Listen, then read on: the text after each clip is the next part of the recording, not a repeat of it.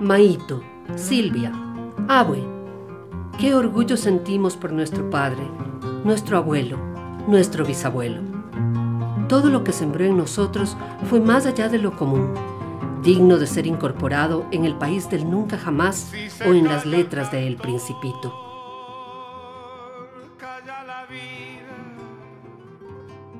porque la vida misma es toda un canto. Si se calla el canto,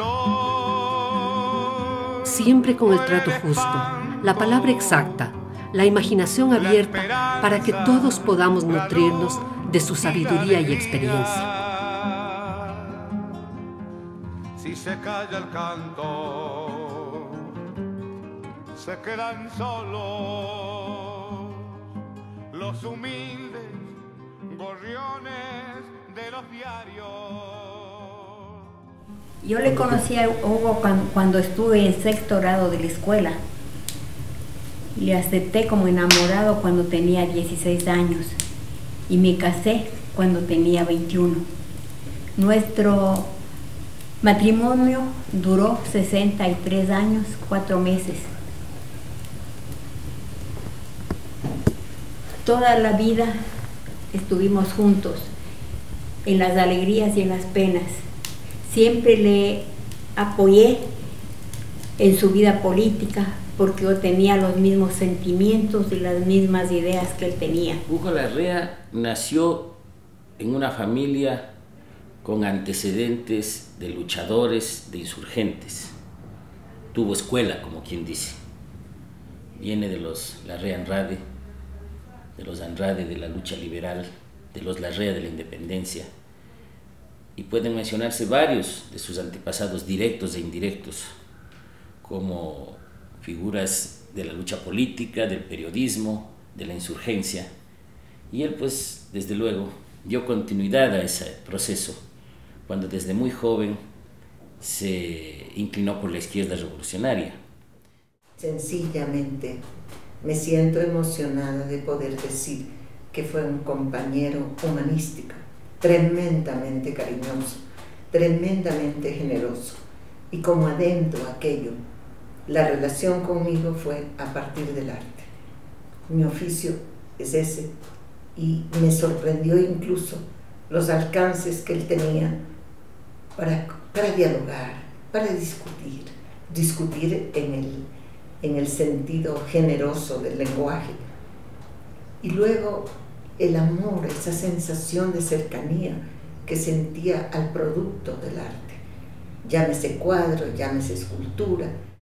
Hugo Larrea mantenía con sus uh, discípulos y con sus alumnos una relación muy cordial, afable. No era pues un profesor distante de sus estudiantes.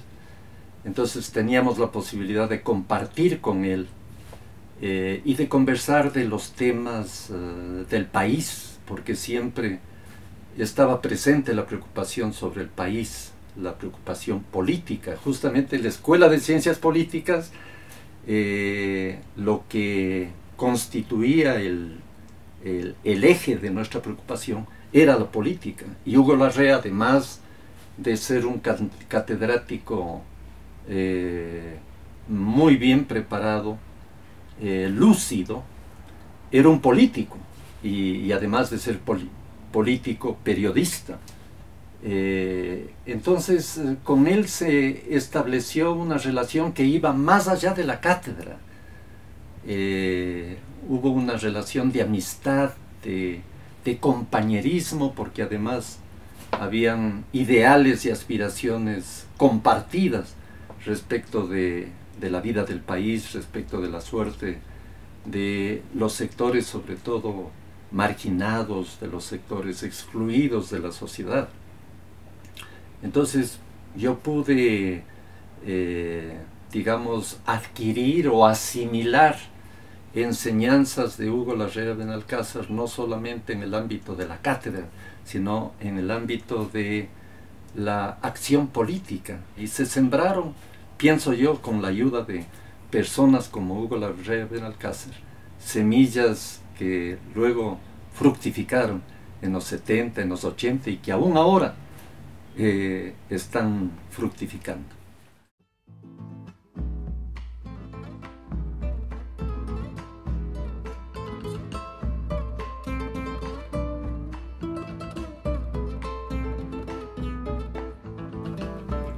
Compartía su sabiduría con todos, siempre con tonos de humorismo profundo y rayando en la travesura.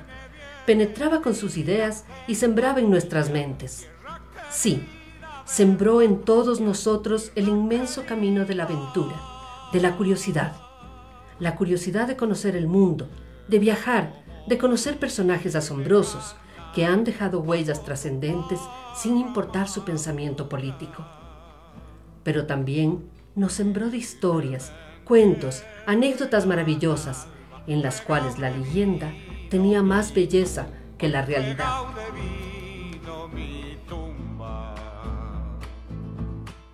Si el vino viene, viene la vida. Si el vino viene, viene la vida. Vengo a tu viña, tierra querida. Vengo a tu viña, tierra querida. El doctor Huguito, como cariñosamente lo llamábamos, mantuvo una casa de puertas abiertas.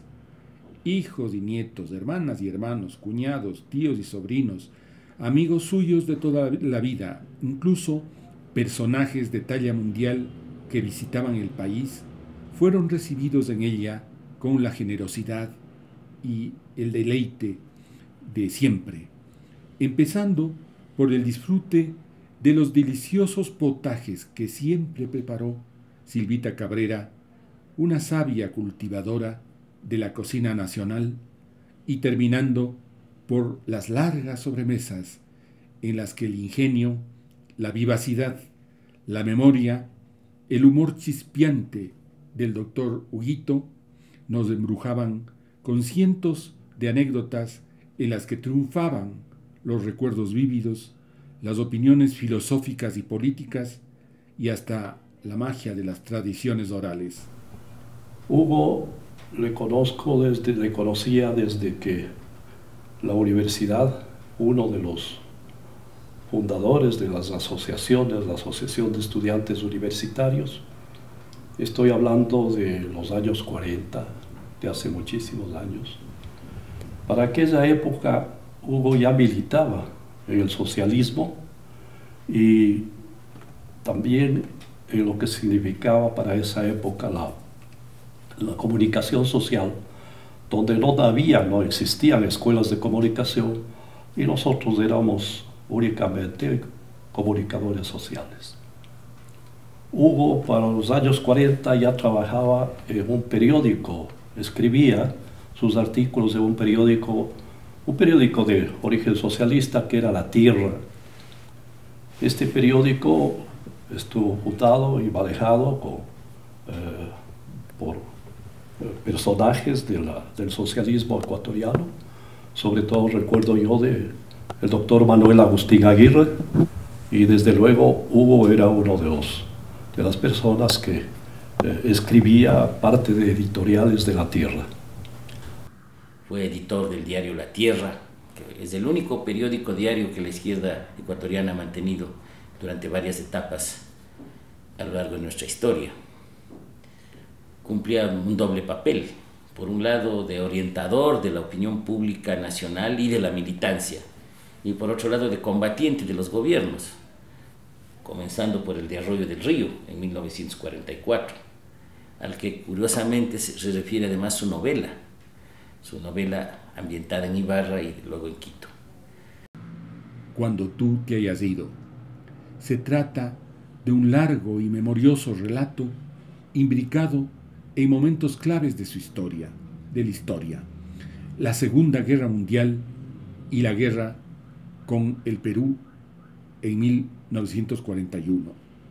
Con ese telón de fondo, nuestro narrador cuenta aventuras desventuras, amores y desamores de un estudiante de provincia que migra hacia la capital, como lo han hecho buena parte de los quiteños por adopción. Entre tantas aventuras infinitas, cuentos y leyendas, sembró la curiosidad de ir siempre más allá de lo aparente y no solo profundizar en lo político, sino en lo cotidiano y disfrutar tanto de lo cotidiano como de lo inexplicable. Sembró las ganas de escuchar música, desde la popular hasta la clásica, de apreciar el arte, de leer literatura, de ver cine y discutir sobre las grandes películas de la humanidad. Sembró el degustar tragos y cócteles que los hacía con magia de alquimista. ¿Qué decir de degustar comidas exóticas? Nos sembró la espinita de hacer arte, de hacer política, de hacer cotidianidad sin que lo sea, de hacer vida para hacer un mundo mejor. Un maestro como él, un educador nato y un defensor de la causa de su pueblo. Eso es un adendo que no se ha mencionado, porque él sentía la ibarreñedad metida en sus venas, cómo, cómo resentía de todo lo que pasa en su provincia. Y a mí personalmente me consta la devoción y el cuidado que le tenían a él y lo que él decía en Ibarra. Yo tengo, con mucha frecuencia voy a la ciudad y estoy encariñada con estos órdenes de educación, de respeto a la tradición, de lucha por la causa. Y ahí es donde dije que el parentesco con, con los grandes héroes nacionales, Andrade a la cabeza, tenía esa gesta en medio de, su alma esa sensibilidad para compaginar una creencia política, una afiliación contestataria, al lado de lo otro, que era sencillamente la lírica, la poesía, el amor a lo que el hombre hace, a lo que el artista le seduce. Entonces él se dejaba, me consta, y era un encanto como él, como que sintiera más la necesidad de acercarse aquellos que le daban cosas agradables, no cosas de conflicto. Y en la época de la crisis de su salud fue reveladora, además de su valentía, su generosidad con él y con los demás. Así que el país ha perdido una persona ejemplar que ojalá los jóvenes supieran apreciar sus distintas facetas, todas unidas para dar un ejemplo de lo que es ser ecuatoriano. Sí, sembró valores también comportamientos también. Sí. Maito, Silvia, Abue, los principios y las ideas son indestructibles, y Él nos las sembró con su propia experiencia de vida, de la cual eres parte indivisible. Cada minuto, cada instante, fustigaba el sectarismo, el dogma, la mediocridad, la claudicación, el entreguismo. La patria podrá negarle, sus escritos se podrán olvidar, pero habrán más larreas dispuestos a dar la lucha. Los que vendrán, seguro, van a tener en sus corazones esas ganas de justicia, libertad y paz. Su mejor legado somos nosotros, los que quedamos aquí y quienes nos siguen. Estamos seguros que este fue tu deseo final.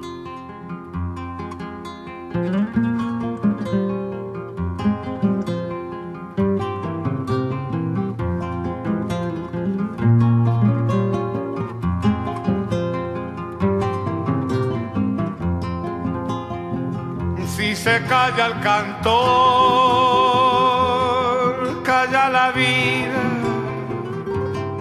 porque la vida misma es toda un canto. Si se calla el cantor,